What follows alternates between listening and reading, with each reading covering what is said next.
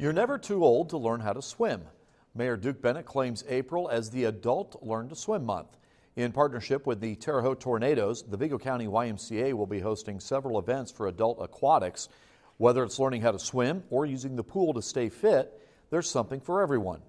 Interested in learning more about the events? Contact information can be found on your screen or our website, WTHITV.com.